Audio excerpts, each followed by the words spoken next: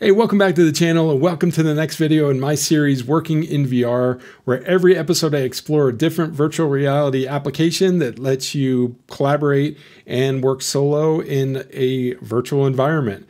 Today we're looking at Immersed. This is personally my favorite. This is the one that I use on a daily basis. And we're going to talk about some of the collaboration aspects, the solo working aspects, and everything that goes along with that. So let's jump into Immersed and take a look. All right, so before we jump into VR, I just wanted to mention that you will need to download an agent. You can just go to the Immersed site. If you go to this main page and scroll down a little bit, you can grab it for Mac, Windows, or Linux. And likewise, this is supported on a bunch of different headsets. So we have support for the Quest 2, the Quest Pro, HTC Vive Focus 3, and it says coming soon to the Pico 4, but it is now available on the Pico 4. So those are the headsets it's on right now. They're also working on uh, doing Steam VR compatibility, which will open it up to a whole bunch of wired headsets.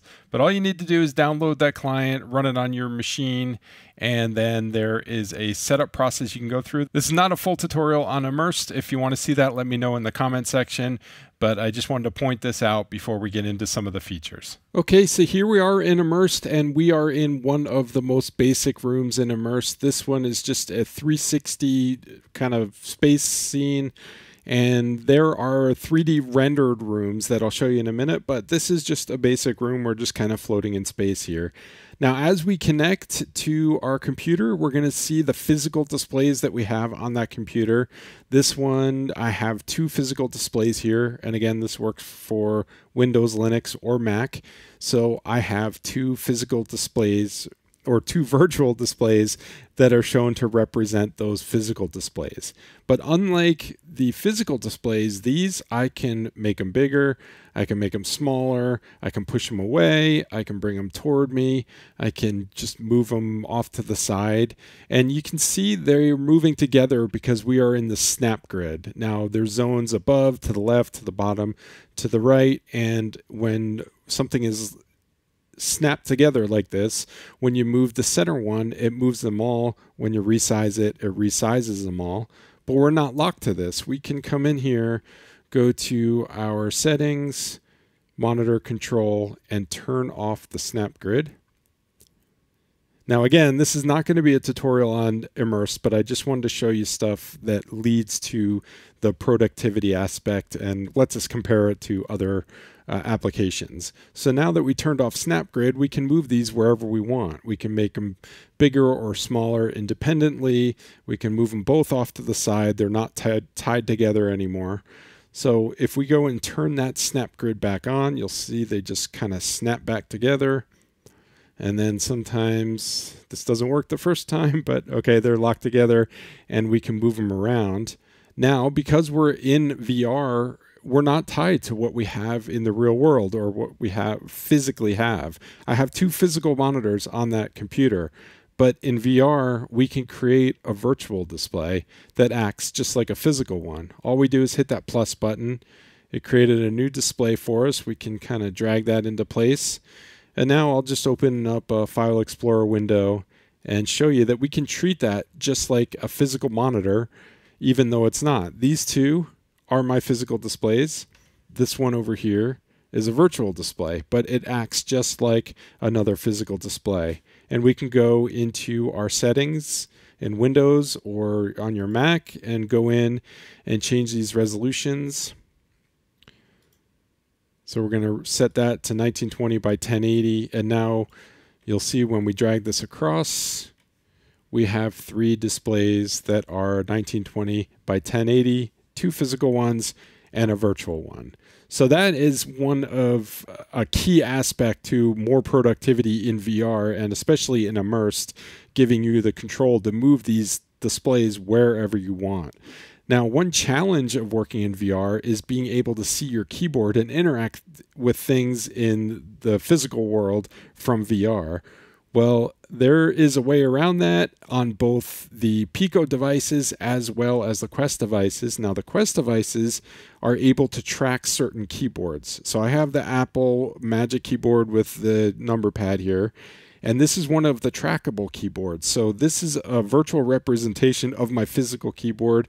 It's tracking it exactly. In fact, if I move the keyboard in real life, you can see it's moving the virtual keyboard in VR. And then when I move my hands over it, it switches for a second and then shows me my hands in a pass through on that keyboard so I can find the keys and start typing away. Now, if you don't like that, another option for the tracked keyboards is coming into settings again into the keyboards.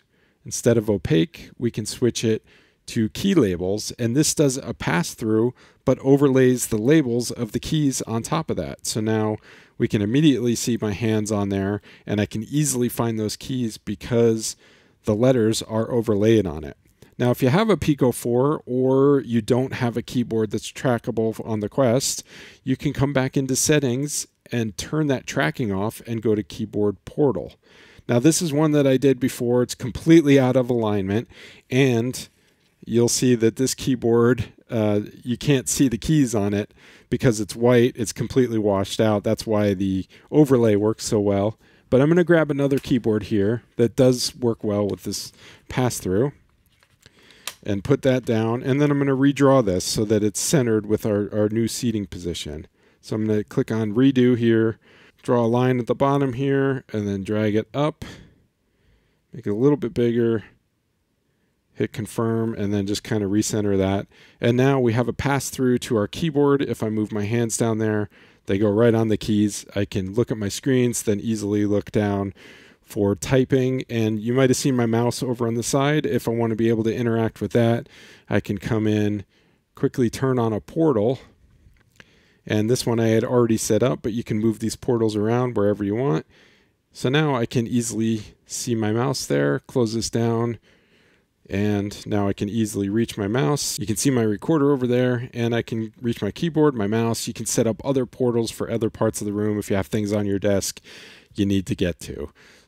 So that is the basic productivity from a solo aspect. There's other aspects if you're co-working or collaborating that I'll get to in just a second. But one more thing I want to show you about the solo working is you can change these rooms. Now there's 360 photo environments like this one is. This is the Milky Way photo environment. But we can go into these fully uh, rendered environments as well. And I like this Lakeview Lodge at sunrise. So we're going to go in there. And you can see we are in this beautiful uh, room overlooking this lake this expansive room. So this is great if you have a very small office or even in like an RV or something, you get a, a real sense of space coming into a room like this. So now that I've talked about these solo aspects, I want to talk a little bit about the social or uh, co-working aspects. Now there's two pieces to this. There's one that's a collaboration room. So right now we're in a solo room, but we can turn this room into a collaboration room by clicking on invite only. So now people that we invite to this room are going to be able to join us in here. We can share our screens so they'll be able to see our screens. We'll be able to see each other's avatars so we can interact with each other. We can interact with the information that's up on the screen, and it makes it a fantastic collaboration. We can also open it to anybody, so anybody um, that has me as a friend can see that my room is available and just join me in here at any point if I leave it open like that. And then I can just close it again and that goes back to a solo room. And I can end this meeting. And now we're kind of back where we were before, where it's completely solo. It's not uh, set up for collaboration. Now that's collaboration, but what about just co working and social? Well, the developers over at Immersed have thought of that too. If we come into the public area, we can see there's these different public rooms. There's Alpine Chalet, Cafe Immersed, which is kind of like a coffee shop. There's a space lounge that is kind of exactly how it sounds. In fact, let's go ahead and jump in there. So we are in a public room now, so we can hide our screens. And if other people were working in here, which they're not at the moment, we'd be able to see them. And we can change seats. So let's go to the center seat here. and we'd be able to see other people sitting around. And if they're working, they would have screens up in front of them. Now, if somebody saw our avatar, because the screens are down, they would not see an outline of a screen around us, and they would assume that we're open for chatting. But uh, say we don't want to open ourselves to chatting but we don't want the screens up either. We may be taking a phone call or something like that. We can easily go into do not disturb mode. And what that does is that changes our name tag to red and then sets the chatter in the room. So if people are chatting, it sets that at an extremely low volume. So let me go to another public room and see if I can find an example of that. I'm going to open the menu and let's go to the cafe. There's usually people in there.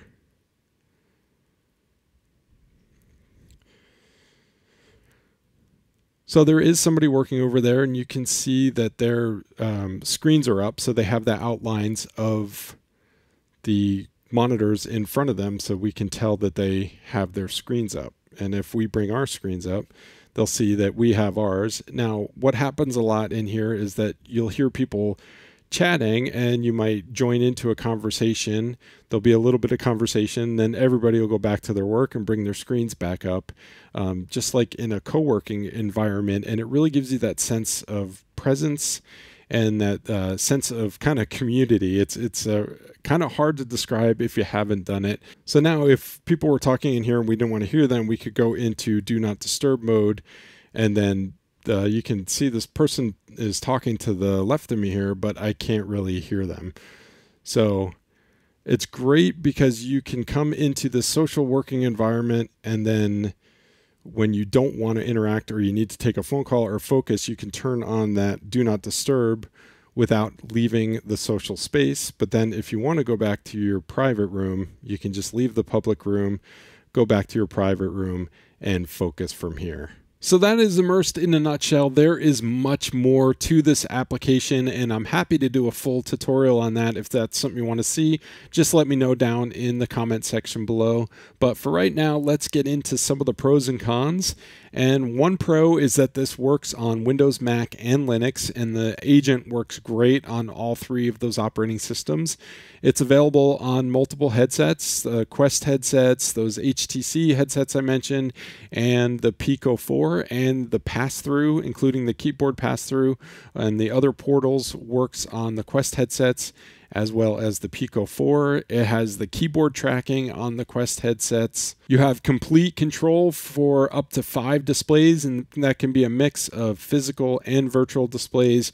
You can change the size, the position, the resolution, the orientation, just set it up however you want to meet your workflow. I have not seen any other app that has the flexibility uh, Immersed has in that respect. It has built in support for solo work collaboration work, as well as the social aspect and that co working aspect. And the last pro is that there are regular updates for Immersed, and the developers are very good about po posting those on the Discord channel. Now, going into the cons, honestly, I haven't really found a lot of cons with this. I would say one is that the performance is sometimes a little bit laggy, not the connection to your remote computer, but the performance inside the headset itself, the application itself. And the lag is not huge. It's not going to keep you from seeing it, but you'll mostly notice it when you bring up the menu or when you're using the controllers and you have a representation of the controller, you'll see some lag there. So another con, and this is not necessarily the fault of the application, but I have to mention it, is that the feature set is going to be a little bit different depending on the headset you have. Like the HTC headsets, I don't believe have the pass-through. The Pico has the pass-through, but not the keyboard tracking. And on the Pico, when you see a meta avatar, it shows up as just a circular coin. It doesn't show as the av actual avatar. So, depending on what headset you're using, you may get a little bit different experience, but that's more of a limitation of the platform that the headset is built on than the application itself. So that about covers Immersed. Uh, hopefully you liked the second video in this series. Uh, if you didn't watch the first one, I did a similar video on virtual desktop, so I'll have a link down in the description for that. And the next video will be on Meta Workroom. So if this series is something that's interesting to you, make sure you subscribe and hit that notification bell. If you have any questions on anything I talked about in this video, leave it down in the comment section, and I will see you in the next one. Thanks for stopping by.